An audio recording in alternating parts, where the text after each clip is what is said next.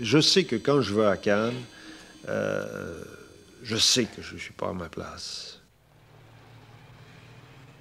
Ça me met mal à l'aise. euh, Quand je me retrouve à côté de Serge Gainsbourg, je sais que ça n'a aucun sens. Pourquoi vous n'avez pas envie de voir le film de Gainsbourg? Parce que moi, je ne vais pas au cinéma, j'aime pas ça voir des, le- des films de parade, des films qui essaient de, de scandaliser. C'est c'est fait pour les enfants, ça.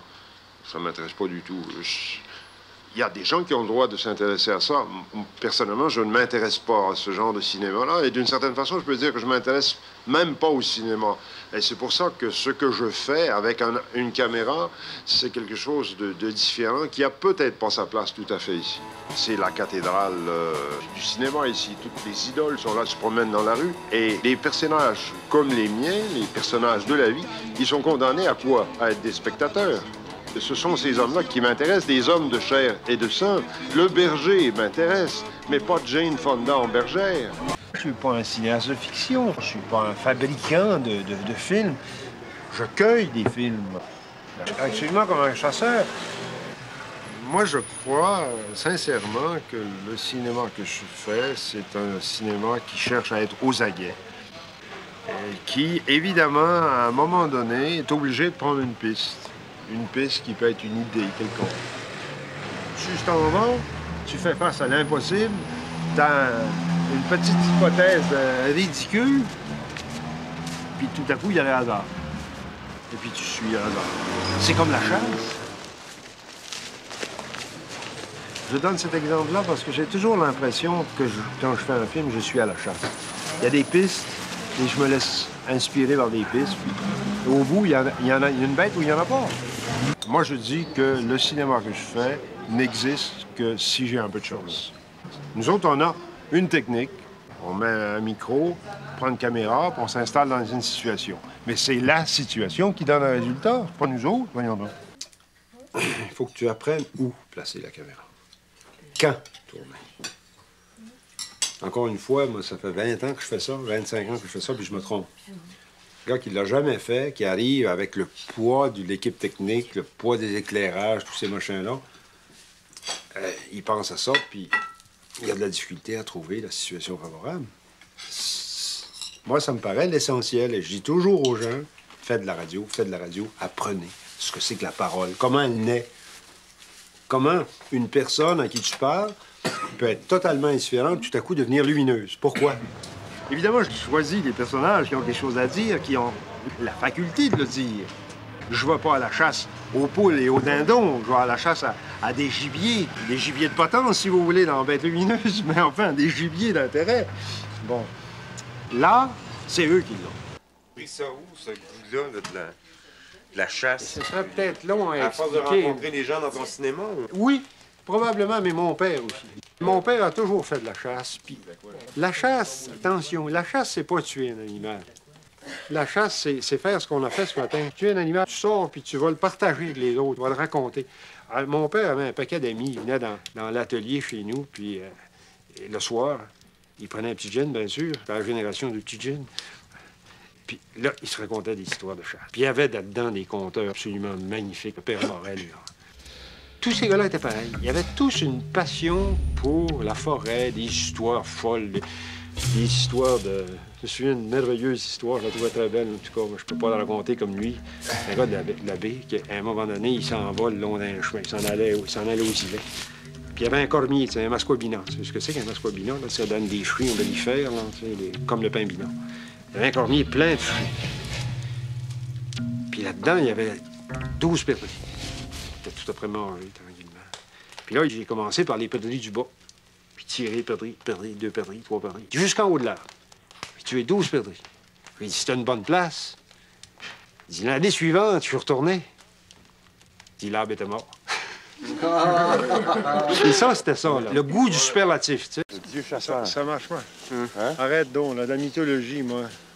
Mais c'en est Très une mythologie, la chasse. Mais non, c'est pas une mythologie. La mythologie, c'est- l'invention des gens qui restent assis à côté du poêle puis qui imaginent ce qui se passe dans le bois. C'est ça, la La chasse, c'est de la chasse, c'est pas c'est tout. Dieu chasseur. Le Dieu chasseur, dans le fond, t'aimes chasser, c'est dans ce J'aime sens-là. chasser, mais Alors, c'est ma mythologie. c'est encore pire. Tu travailles tout le temps avec de la viande morte, ben tu te dis, bah, moi aussi, j'ai le droit d'en tuer. J'ai le droit de faire ma part là-dedans. pour voir ce que c'est, d'arrêter ta vie à un moment donné. Parce que toi et tout, tu vas finir par te passer au cash. Puis l'automne, c'est la saison où la nature passe au cash. Chris, de rien, t'as même pas le sens des viscères, sacrement. T'en inventes des viscères à tous les jours, Asti.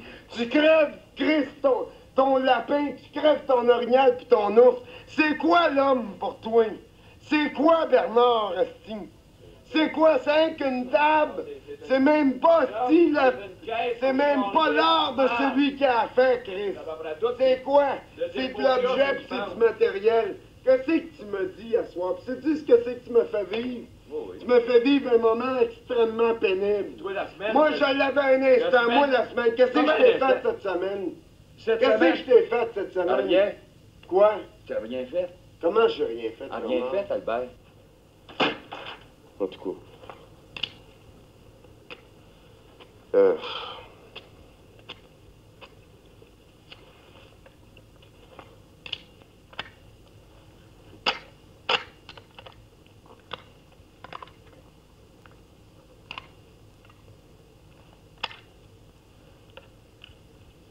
Bon, mais qu'est-ce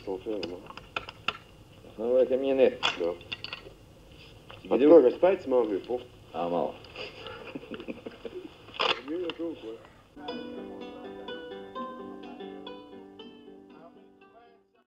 Est-ce que tu te rends compte de l'effet que ça fait dans l'âme de la personne que tu filmes d'être filmé?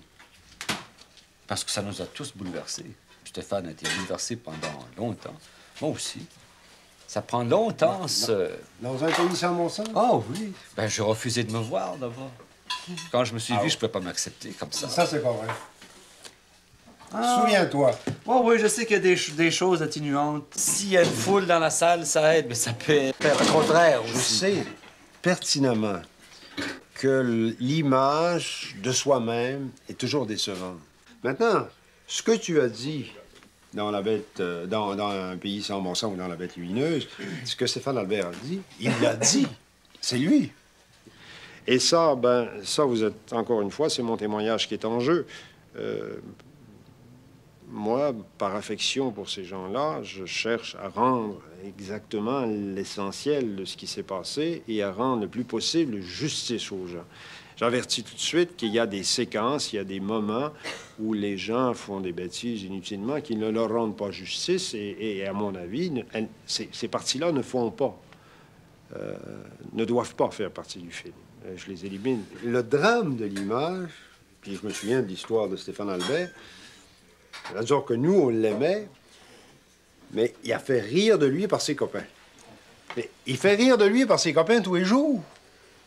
Sauf que... fait- Attends un peu. J'exagère un petit peu, ben, disons, mais souvent. Mais faire rire de soi, c'est rien. Mais faire rire de son image, c'est épouvantable. Il faut s'entendre. D'abord, je te corrige. Je veux dire, c'est.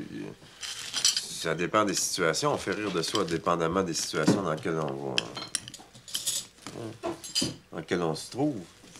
C'est sûr qu'à la chasse, étant pas chasseur, je peux faire rire de moi, tu sais. Mais je veux dire, euh, dans mon milieu euh, de travail, je ne fais pas rire de moi, tu comprends-tu? On est allé à la chasse aujourd'hui. Ouais, T'as été mais- le premier à rire de toi du fait que t'étais pas chasseur. Ce qui arrive, c'est que le problème qu'on vit euh, profondément quand on se voit, c'est qu'on est proposé comme modèle. Quand je vis mon émotion d'une façon passionnée, je veux dire, c'est pas, je veux pas l'imposer aux autres, mais forcément le fait de d'être, euh, comment je pourrais dire, de, de- de choisir, de choisir ces plans-là puis de les mettre dans un film, mais c'est un modèle. En tout cas, les gens le lisent comme un modèle, puis ils rejettent ce modèle-là ou ils le prennent. OK? Mais c'est ça qu'il faut vivre. Mon procédé, c'est d'essayer de raconter ce que j'ai vu. C'est évidemment ma, ma- ma version des faits, mais cette version des faits-là, on peut dire qu'elle ne, ne- ne provient pas d'un oui-dire. C'est eux qui parlent. Oui, mais on est désavantagé par rapport aux comédiens de fiction dans le sens suivant, c'est que lui peut choisir son rôle et peut choisir finalement le modèle qu'on va proposer de lui. Il peut mourir sur Tandis que nous autres, mais finalement, on reste tant qu'on est là. OK?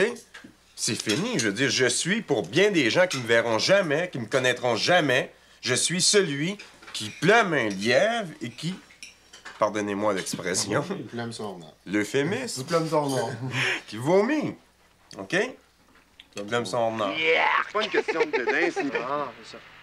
Je, je sais pas pourquoi j'ai le dédain, finalement. je sais pas. Le gars, le met dans le sang, il sait pas pourquoi il a le dédain. Sorti, là, là. Non, non, non, sois pas malade, là. Non, non.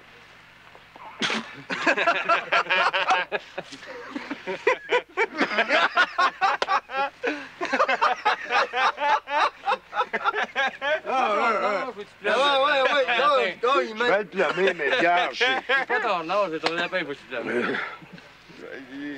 Tant qu'à plumer, de mon Mais je reste pour bien des gens que je verrai jamais dans ma vie, je reste ça. Maudit plomage. Qui ne se soucie pas de son image dans une vie? Je veux dire, tu te regardes dans le miroir des fois avant d'aller travailler ou je sais pas, puis tu te peignes, etc. Mais c'est la même chose. Sauf que moi, là, je peux plus me repeigner. L'image est là, puis quand ça vient de Oui, par ils vont...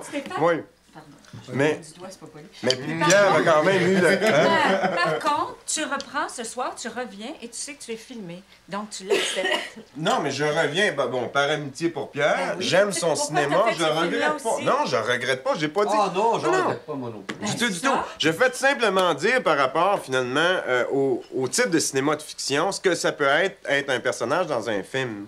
Tu comprends-tu? On a, on a tous des moments de grande vulnérabilité ou de choses de ce genre, mais si on te filmait à un moment où c'est un moment très intense pour toi, Ah oui. c'est dur de le revoir, ce moment intense. Moi, j'essaie de découvrir dans chaque homme une inspiration. Quand elle n'est pas là, quand elle tarde à venir, je l'attends, je l'attends même avec la caméra. Et puis, quand elle est arrivée, bon, je supprime ce qui est avant, parce que ça, c'est un pas de travail de griffonnage. Bon, c'est un peu ça, le montage, au fond. C'est pas biffer euh, euh, quelque chose de vrai, de moins vrai ou de pas vrai. C'est simplement te permettre d'attendre le moment et puis de donner le meilleur moment de l'homme. C'est lui rendre justice. Finalement, euh, on pourrait très bien euh, raconter une toute autre histoire en se servant exactement des mêmes éléments. Le montage tel qu'il est fait là, à mon avis, il, introduit, c'est vrai, votre version des choses, mais c'est votre récit. Et en ce sens-là, est-ce que finalement le montage, potentiellement, il n'est pas fictionnel C'est ça qui me tracasse, parce que moi, tout le reste, je l'admets.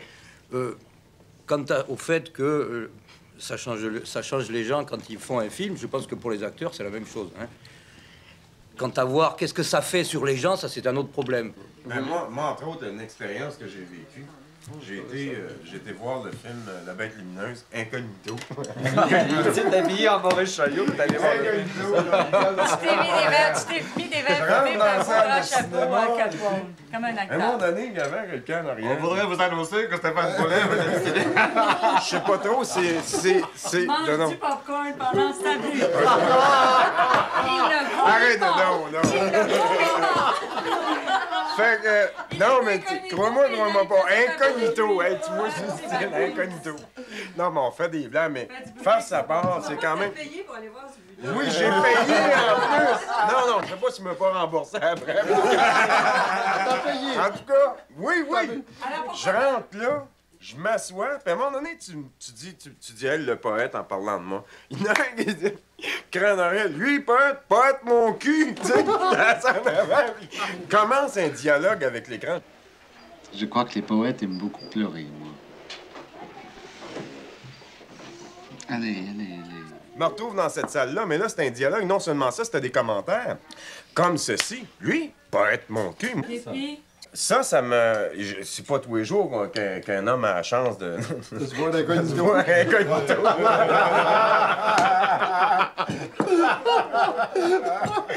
non, c'est pas tous les jours. En tout cas, je l'ai vécu. Évidemment, ça fait. Tu sais, il y a d'autres moments où, quand tu vois les gens rire, ben là, ça te regrimpe. J'étais comme une vague, moi, tu sais. là. Un bateau, tu sais. C'est incroyable. Je montais, je descendais, je montais, je descendais. Tu vois dans le rire ou dans, Non, c'est évident qu'il y a des, il y a des côtés, euh, des côtés fascinants. Il y a d'autres côtés, finalement, qui sont plus pénibles, qui sont plus durs. OK? Mais, je veux dire, je, je regrette pas, loin de là. Dans- Dans tout ça, il y a quand même une petite fatuité personnelle qui est en jeu parce qu'on voudrait bien être soi-disant impeccable. Mais l'intérêt, c'est justement de ne pas l'être impeccable. Pour moi, pour toi. Pas oui. Il s'agit de nous autres, là. Oui, mais, mais vous m'intéressez pas dans la mesure où vous êtes impeccable. Vous, vous m'intéressez dans la mesure où vous êtes vulnérable, donc humain. Ça, c'est bien dit. Ouais. C'est ça qui est. Autrement, c'est pas la peine. Autrement, je fais de la fiction. Mon Dieu, je ferais des films de cow-boys. Ils tirent toujours puis ils manquent jamais leur coup, les Voudrais-tu gars. en faire un avec les autres? hein, Maurice? Vous faites ça en cowboy, tous les deux. Mais, euh, Vos personnages que vous avez pris dans la vie, ils sont prisonniers de votre récit. Euh, moi, je prétends ne pas faire une manipulation. Je prétends qu'il y a un seul montage possible, à mes yeux. On peut manipuler du métrage, évidemment, comme on veut. La, seule direction possible, c'est celle que je j'ai essayé de définir. C'est une fidélité à ce qui s'est passé, à ce qui s'est produit devant moi, et une fidélité au personnage. Ce qui ne me laisse pas de manœuvre. S'il me laisse de, la manœuvre pour dire, comment dire, il ne laisse aucune manœuvre à savoir quoi dire. Je crois à, la sincérité de votre témoignage, mais je considère que euh, c'est un témoignage qui, de toute manière, pour moi, ne peut pas forcément, ne représente pas forcément l'objectivité du vécu. C'est ça qui me tracasse dans, tout ce qui s'est dit là. Et donc, de ce point de vue-là, moi, je considère que, euh, en tant que spectateur, et pourquoi je serais déformé de ce point de vue-là, je revendique devant vos films mon droit au rêve et à la fiction. Je le, revendique. Moi, quand j'ai vu euh, Pour la suite du monde, c'est un film qui m'a fait rêver. Et moi, je ne l'ai pas vu uniquement comme un document. Et tous vos films, d'ailleurs, ça a été pareil. Moi, je sais pas. j'ai encore des images des voitures d'eau dans la tête. Et c'est pas parce que c'était un document. C'est parce que dedans, il y avait des choses qui me, qui me parlaient du point de vue de mon imaginaire, du point de vue de la fiction. Vous voyez ce que je veux dire? Alors, vous l'avez peut-être pas voulu le faire, mais vous l'avez produit sur certains spectateurs. Je fais un cinéma à hauteur d'homme. Il y a toute la terre pour vivre. Qu'est-ce que c'est que ce besoin de rêver? Je veux bien qu'il existe, mais et je voudrais que... Moi, je veux avoir d'autres préoccupations, c'est tout, parce que j'ai plus envie de rêver. J'ai envie de vivre avec des gens en chair et en os. Moi, je voudrais bien avoir des baleines, des baleines volantes dans mes films ou des- des mammouths, s'il y en avait dans la réalité, si je pouvais y faire face. Mais c'est pas ça l'essentiel. Parce que c'est pas ça que je poursuis. Je poursuis la poursuite des hommes et non pas l'objet de leur poursuite. Pareillement, vous allez m'excuser si vous voulez, mes petits amis, si je prononce les mots de l'ancien français comme je peux, parce que je les lis comme je peux. Vous savez que je prends beaucoup d'instructions, puis plus, il est très difficile à lire. Et pareillement, par que du pays. C'est par ceux. Ben oui, mais il faut le prendre comme, comme je, je peux le ce, mais je le prononce comme je peux. Il y a aussi un grand courant des eaux environ de la dite Isque, comme devant Bordeaux. Ici, l'île contient environ trois lieues de long et deux de large. Et, et a une bonne bonne terre. Quand, vous, quand on parle de une, c'est pour ça que je vous le dis, c'est VNE. Fait je le lis comme je peux, mais seulement que vous l'explique.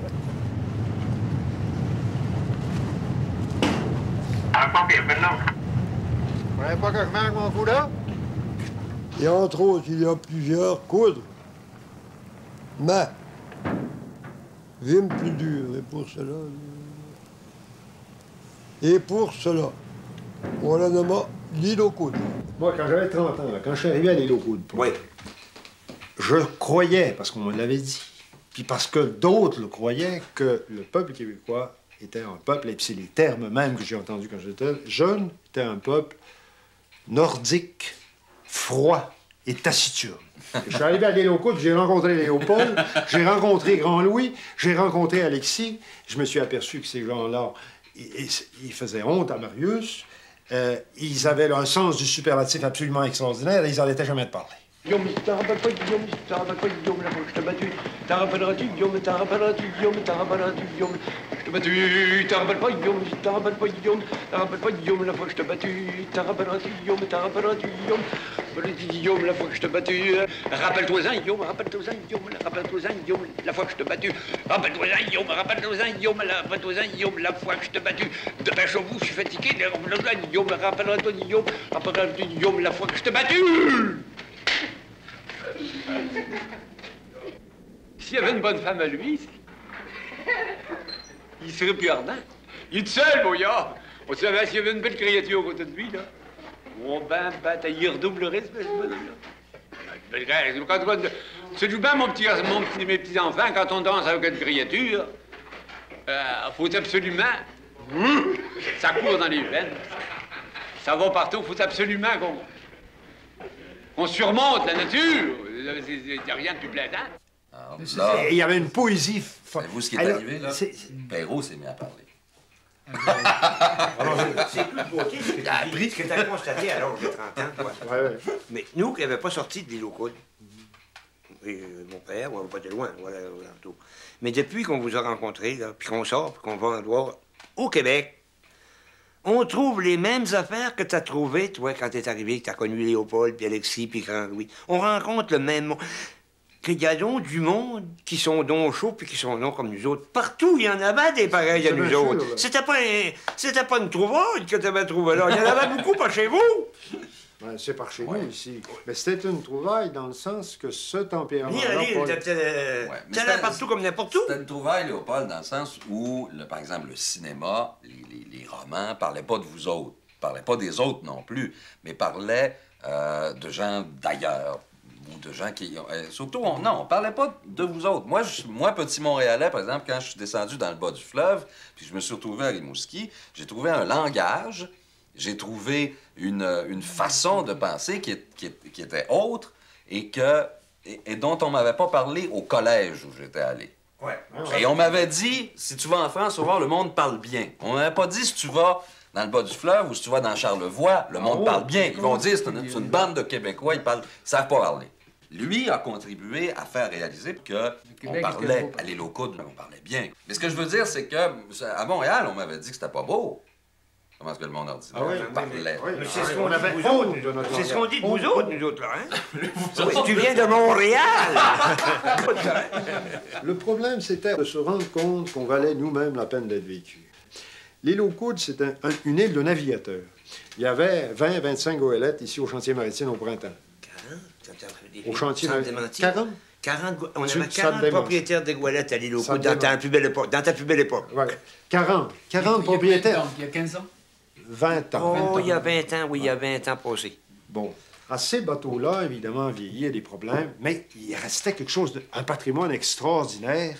Le patrimoine extraordinaire qui restait, c'était la connaissance qu'ils avaient de la mer, la connaissance qu'ils avaient de la construction des bateaux, de la forêt, parce qu'ils allaient chercher leur, leur bois dans la forêt, de la navigation, de radar. Ils savaient tout. Ils savaient tout. Chaque homme savait tout. Il n'était pas spécialisé, il connaissait tout. Ça, oh, personne ne s'est occupé de ça. C'est fini. Il n'y en a plus. Il en reste un bateau. Un. Il en reste un. Puis C'est tous des Goualettes de bois, tous des bateaux de bois. Et le transport. On on n'a jamais essayé de faire un seul geste. hein. C'est fini. Ils sont morts. C'est fini, fini, fini.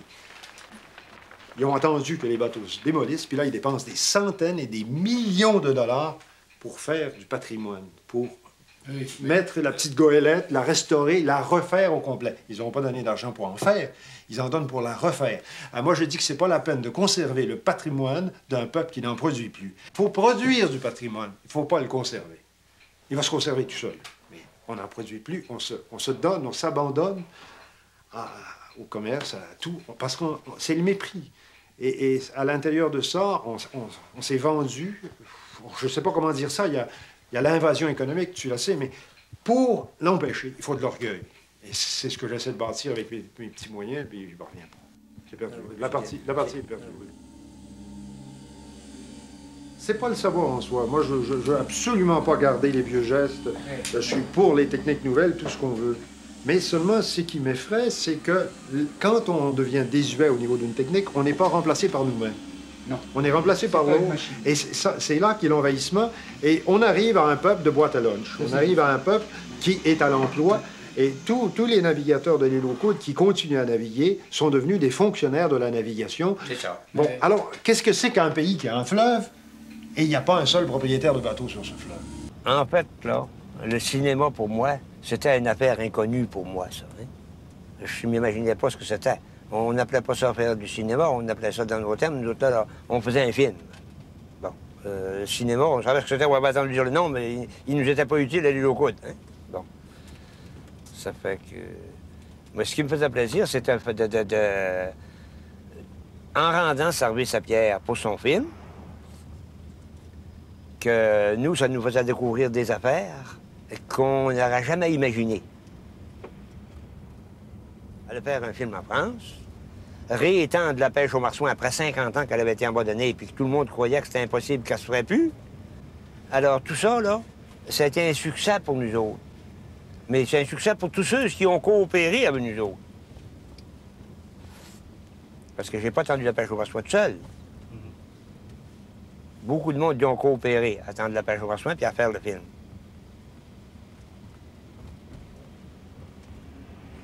Mais les étrangers nous ont, traités de vedettes. Puis vedette, c'est ce qu'on n'aime pas se faire dire ça parce qu'on ne l'est pas. On le croit qu'on ne l'est pas, nous autres. On arrive ici, là, change de sujet, là, continue. On arrive ici, à la boutique de forge, là où on a fait les lances, puis qu'on a lu le livre de Jacques Cartier avec mon père, qu'on qu'on a discuté. Ici, ici. Ça a beaucoup changé. Il y a 25 ans d'écoulé, là, hein? Ça a beaucoup changé. T'es un homme de la controverse. C'était une boutique de forge, aujourd'hui, c'est une quincaillerie. Moi, j'ai pas. Ça m'a pris quatre ans à embarquer dans ça, moi.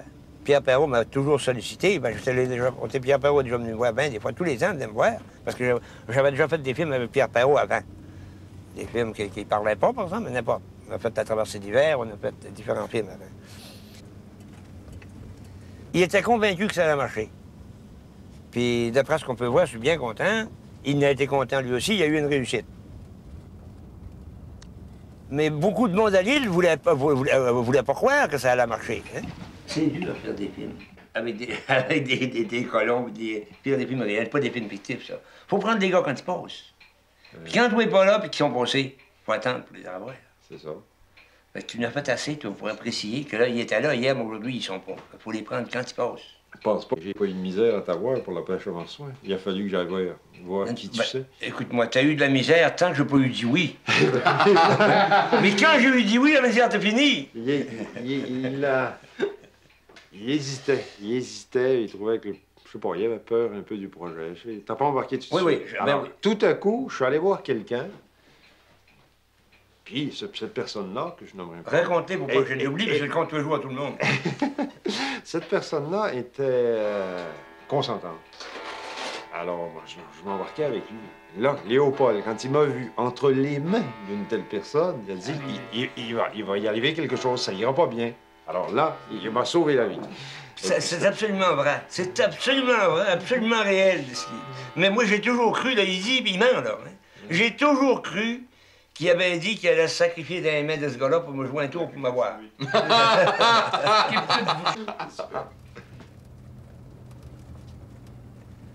Au bout de ce grand bout de terre, de peine et de misère, dis-moi, Marie, pourquoi le silence s'agrandit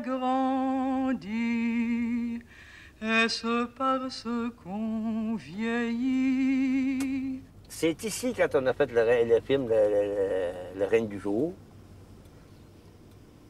qui sont venus inviter mon père pour venir, mon père et ma mère, qui étaient allés aux fraises avec moi et ma femme, dans le champ, pour aller faire un film au pays de ses ancêtres. Mon père et ma mère ont accepté de bonne volonté pour aller faire un tour en France au pays de leurs ancêtres. Mon père était bon de ses ancêtres. Oh, allez en France. Euh, C'est pas mal dur. Que t'en penses, Marie de toi? Je trouve que c'était un gros voyage. Et ça a donné un film qui s'est appelé Le règne du jour, que j'aime beaucoup, avec Léopold. Et c'est là que Léopold est revenu en ne jurant plus que par la France.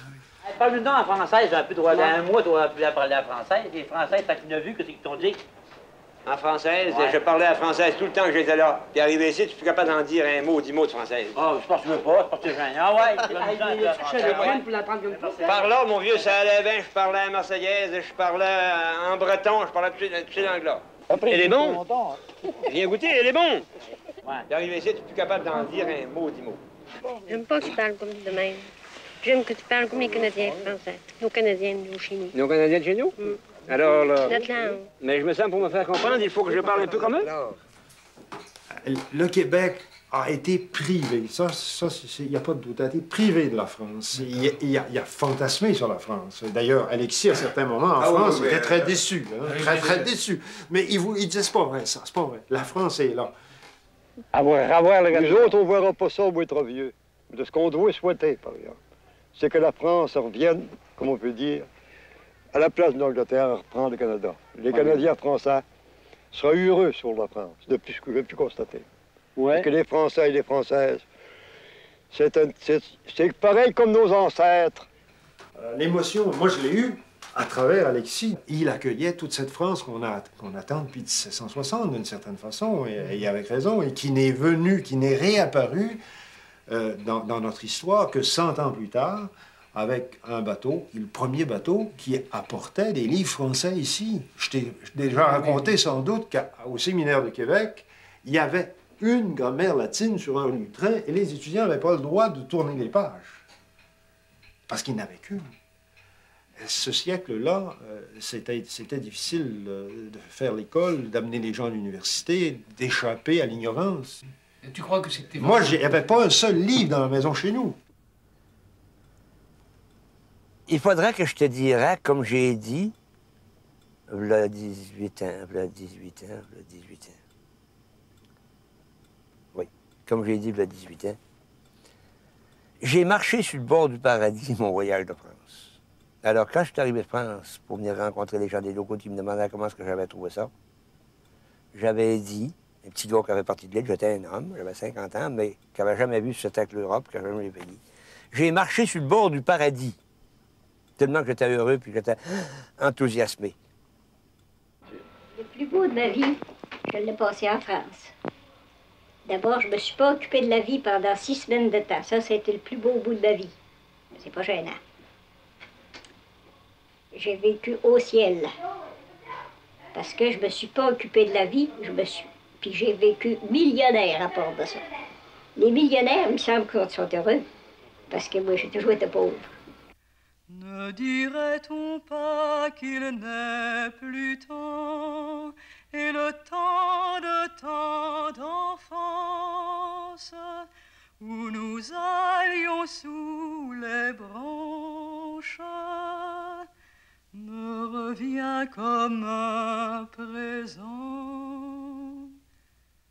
Ça me plairait beaucoup que tu chantes ça un jour. Oui, avant de disparaître quand même. Parce que le temps passe. Et quand il passe à la vitesse où on le vit maintenant, c'est quelque chose d'effrayant. Parce que euh, quand tu penses que tu m'as donné ce texte, il y a. Tu fais une musique? J'ai fait une musique. Ah bon? J'ai commencé. Tu me fais un petit. euh, ne serait-ce qu'un accord pour que je puisse. dire. Au bout de ce grand bout de terre, de peine et de misère, dis-moi Marie, pourquoi le silence grandit? Est-ce parce qu'on vieillit? Dirait-on pas qu'il n'est plus temps? Le temps de tant d'enfance où nous allions sous les branches me revient comme un présent. Parce que c'est de vivre pourtant qu'on meurt, parce que c'est de vivre pourtant qu'on meurt. Après ce beau bout de pommier, au bout de ce grand bout de mer, bout de chemin, bout de misère, dis-moi Marie, est-ce parce qu'on vieillit? Tout ce qui nous a surpris ne nous arrivera plus guère au bout de ce grand bout de mer, parce que c'est de vivre pourtant qu'on meurt, parce que c'est de vivre pourtant J'ai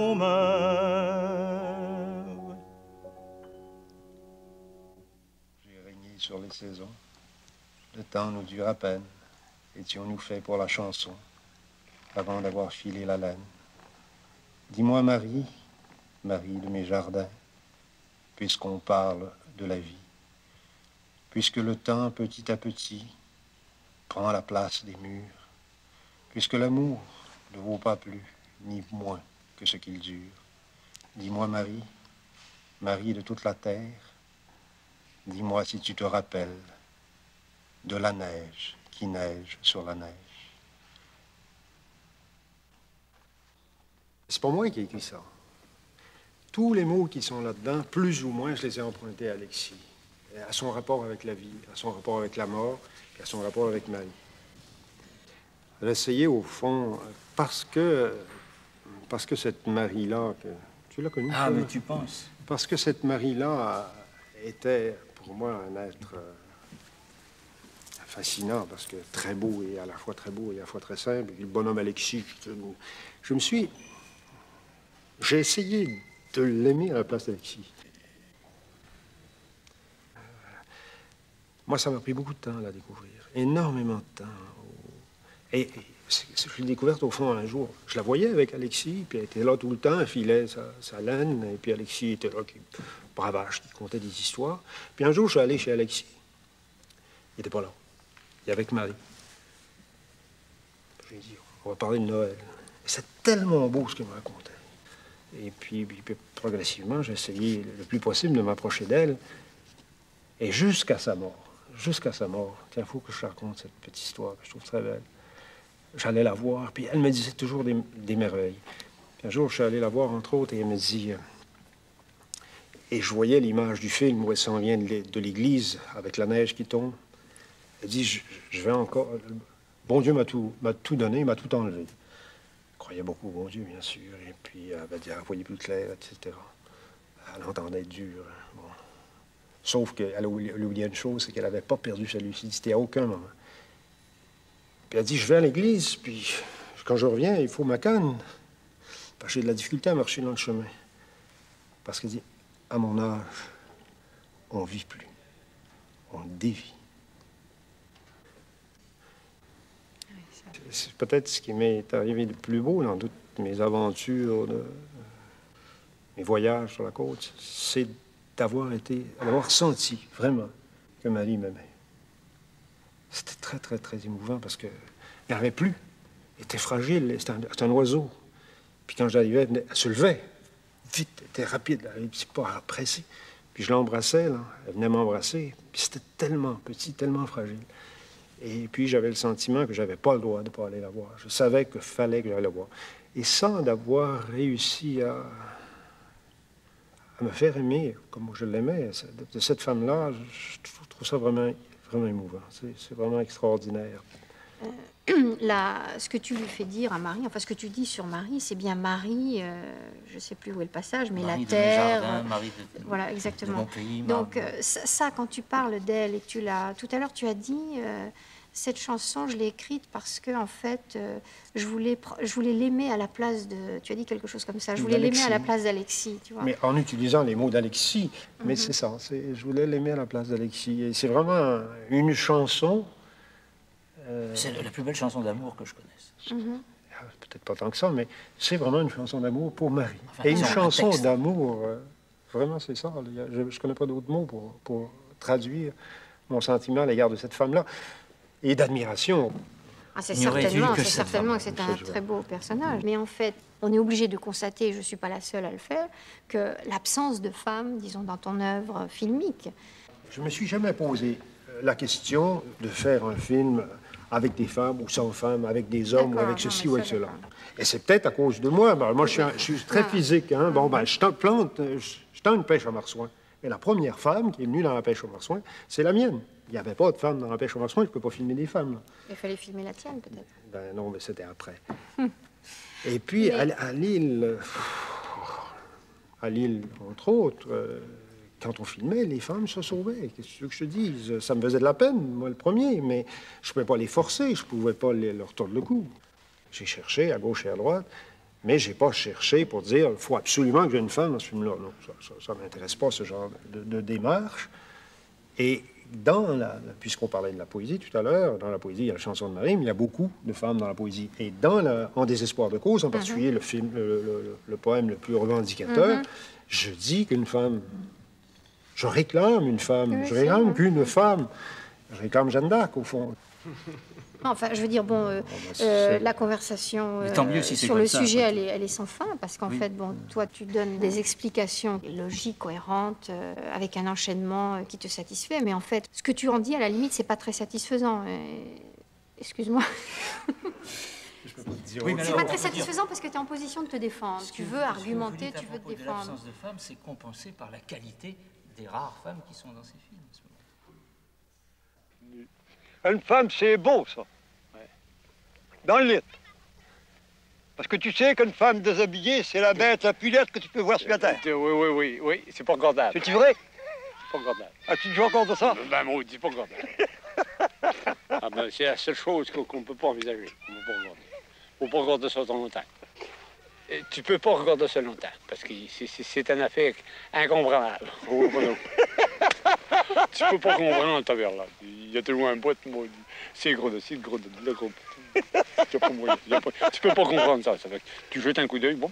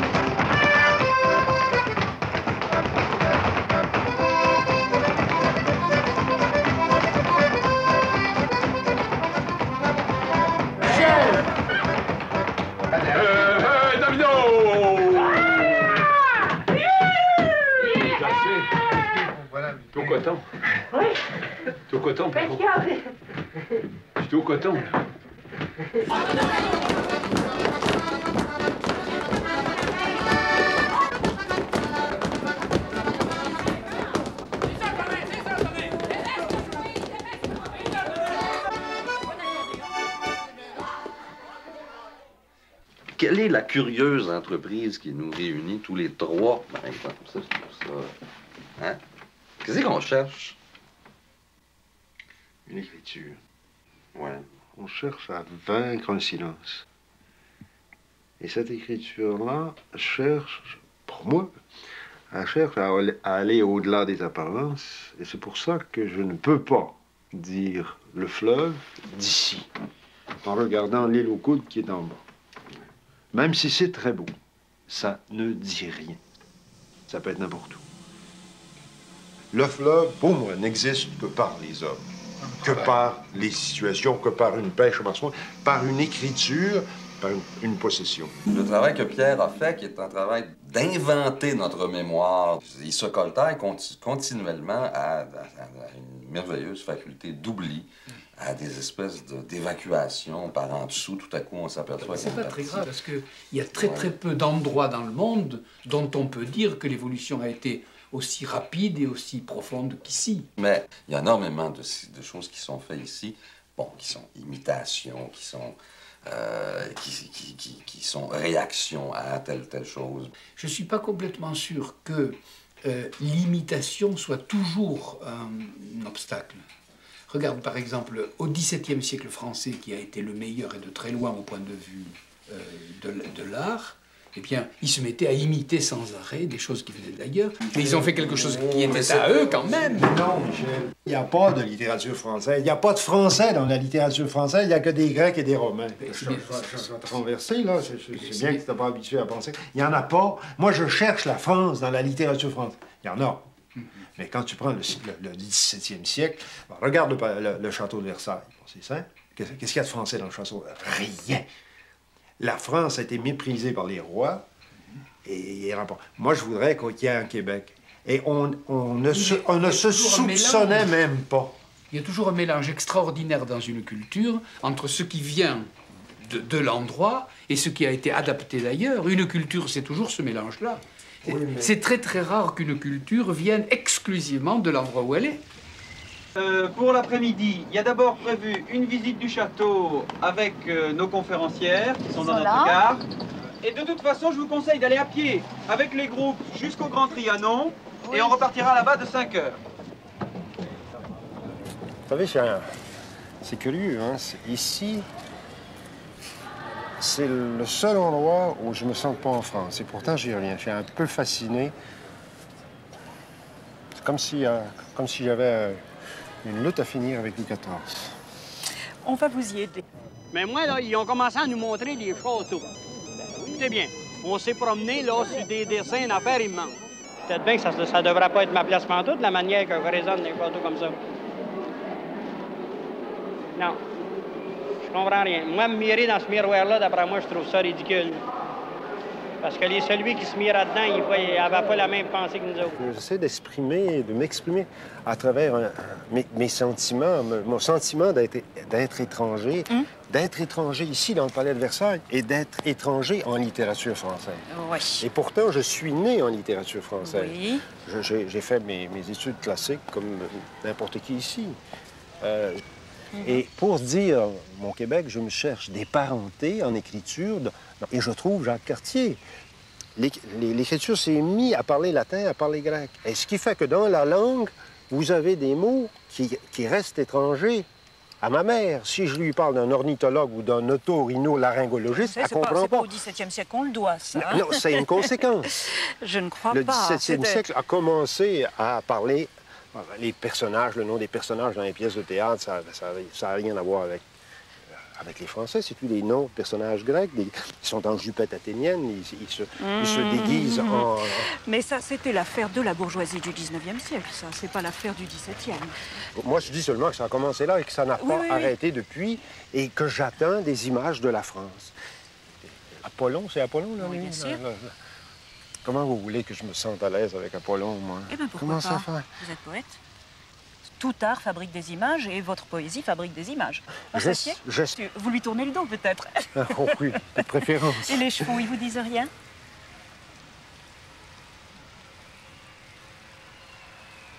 C'est des chevaux frisés. Non. Vous-même. Regardez-les avec vos yeux et pas avec vos préjugés. Ah, pour ça, ben, alors... je peux plus parler maintenant. Là, je veux bien, mais la vie, mon Dieu. C'est fou, je, suis fou. Décidément, je suis tout seul. J'aime la réalité. J'aime les hommes vivants. Et, ça, ça me paraît quand même contredire jusqu'à un certain point la, fiction et l'embellissement. Et c'est ce que je fasse, c'est viscéral. Alors, toi, toi-même, Pierre Perrault, tu ne fais pas de gestes, tu ne pêches pas les marsouins, tu fais des images. Comment tu te sors de ce problème ah ben, c'est-à-dire. Ah ben non, pour poser le problème du cinéma. Quand même, euh, méchant. Tu, fais du cinéma. c'est méchant parce que j'ai un terrible effort à faire. Oui, c'est ça. Parce que je suis obligé de me justifier d'un équipement. C'est pas le problème de Pierre Perrault, c'est le mien comme celui de ah Michel. Ah C'est-à-dire, bon, on veut écrire la réalité, mais euh, lorsque je décris moi aussi dans un texte le fleuve ou les gestes du fleuve, je reste quand même un écrivain, et toi tu restes un cinéaste. C'est-à-dire que quand tu dis je me fiche des images, tu fais quand même que des images. Ce n'est pas toi qui pêches le marsouin, ce n'est pas toi qui fais la traverse d'hiver de l'île aux coudres sur côte et ainsi de suite. Je crois que son inquiétude est qu'au début on comprend mal, mais qu'à la fin on comprend bien, consiste à donner la parole non seulement aux Québécois, mais à faire parler le Québec comme tel. Et nous, Français, nous sommes un peu étonnés d'un projet pareil, parce que ça fait très longtemps que la France parle. Mais nous ne sommes plus étonnés d'un projet pareil, parce que la France se met à ne plus parler. Elle se met à ne plus parler pour des raisons très simples, c'est qu'elle était en train de perdre sa langue. Pendant l'occupation, il y avait moins de mots allemands sur les rues de Paris qu'il n'y a maintenant de mots anglais sur les mêmes murs. L'espèce de mise en péril de notre culture est assez profonde. Nos inquiétudes se mettent tout d'un coup à ressembler aux vôtres. Suis un peu inquiet des fois, j'avoue. C'est une espèce d'entreprise. J'ai donné 20 ans, 25 ans de ma vie à faire ça, et qui m'a l'air d'arriver à un cul-de-sac. C'est une espèce d'entreprise. J'ai donné 20 ans, 25 ans de ma vie à faire ça, et qui m'a l'air d'arriver à un cul-de-sac. C'est pas le rêve, les locaux. C'est. C'est un témoignage. C'est sûr que l'homme s'invente et devient ce qu'il s'invente aussi, mais ça s'inscrit plutôt dans un projet que dans un rêve. Alors, euh, ce qui compte, euh, c'est pas de créer un pays imaginaire, c'est de créer l'imaginaire d'un pays. Je ne crois pas que le cinéma de Pierre, celui de Coude, mais l'ensemble de son cinéma, crée un pays imaginaire. Au contraire, il donne un imaginaire, euh, l'imaginaire perdu d'un pays. Il le redonne aux Québécois. Il le redonne dans les formes où il l'a trouvé en 1963, en 1965 avec les voitures d'eau, etc., à travers ses films. Il, redonne cet imaginaire qui était aliéné. Matt, bien, je veux pas avoir le succès de Dallas, je m'en fous. je veux absolument pas. Je suis pas intéressé à ce que mon film passe en France. Je suis pas intéressé à ce que mes films passent aux États-Unis. Je suis intéressé à ce qui concerne Québec. C'est ça que je voudrais. Et je sens que les gens sont un petit peu concernés, mais sont tellement envahis. Leur esprit est occupé. Les hommes, il y a un mot terrible qui est utilisé pour parler de ça, sont dépaysés. Vraiment dépaysés. Et dans notre pays, être dépaysé, c'est grave. Je viens d'essayer de faire une aventure, d'avoir une aventure sur le fleuve, d'écrire le fleuve Saint-Laurent. J'habite le fleuve Saint-Laurent depuis 25 ans. Depuis 25 ans, je le fréquente. Depuis 25 ans, j'en parle. Depuis 25 ans, je peux en parler. Et cette année, j'ai traversé ce fleuve pour le globaliser, parce que je l'avais dit par petits morceaux. Et je m'aperçois que je n'ai plus rien à dire du fleuve Saint-Laurent parce que nous n'occupons plus que l'espace de l'assurance chômage. Il n'y a plus d'actes, nous ne posons plus d'actes sur ce fleuve. Quand j'ai fait pour la suite du monde, il y avait une écriture, on attendait des pêches sur la mer, on prenait des dauphins blancs, on pouvait dire le fleuve, avec des gestes, des combats et des mots. On n'a plus de mots, on n'a plus de langue. Parce que la langue non plus n'est pas un espace en soi. La langue doit être occupée par des actes, par des gestes, par des maîtrises. Et je dis tout simplement, c'est pas la peine de faire l'indépendance d'un peuple de buveurs de bière qui est incapable de brasser sa bière lui-même. Ne s'agit pas de faire un paradis, mais il s'agit peut-être de faire, sinon pour nous, en tout cas certainement de plus en plus pour nos enfants, un pays avec le Québec où on pourra se sentir chez nous. Après tout, c'est pas la fin du monde.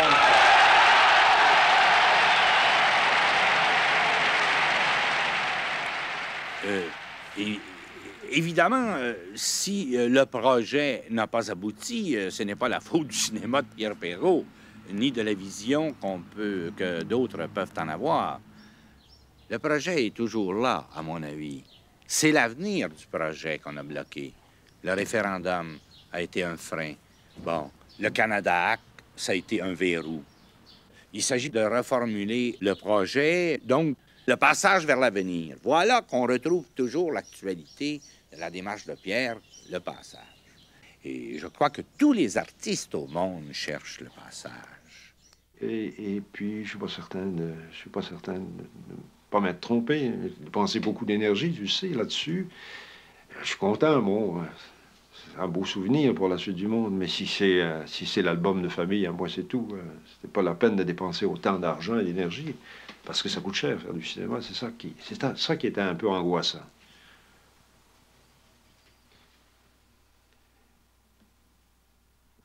Connaissez-vous l'oiseau névrose? Savez-vous ce qu'on fait avec l'oiseau névrose? On le mange On avec des patates pilées comme une dinde de Noël. C'est- bien ça. c'est bien ça. Ouais, L'oiseau névrose est une outarde euh, parmi d'autres. D'autres. Déceler une névrose dans, Ah, mais dans- non. dans mon. Non. Ben non. J'ai un instrument, Michel, puis je, le Non. mettre en question. Non, J'essaie de savoir. C'est pas la peine de te poser des problèmes.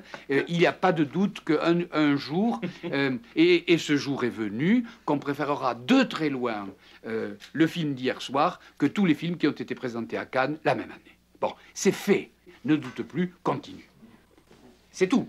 C'est tout ce que j'ai à te dire avant de partir. C'est peut-être. euh, je sais pas. On essaie toujours de se justifier et c'est toujours contre les autres. Au fond, je suis pas attaqué, je pas. C'est pas très grave. Quand même une espèce de démarche. Puis là, tout à coup, je me suis dit, j'ai fait ça. Est-ce que j'ai tort ou raison? J'essaie de justifier mon aventure et de la comprendre en même temps. Et de comprendre à la fois mon émerveillement pour la parole de l'homme et l'indifférence des hommes à l'égard de cette parole-là.